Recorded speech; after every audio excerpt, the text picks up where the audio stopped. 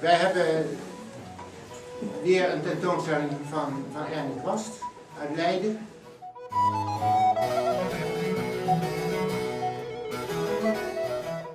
Lezend.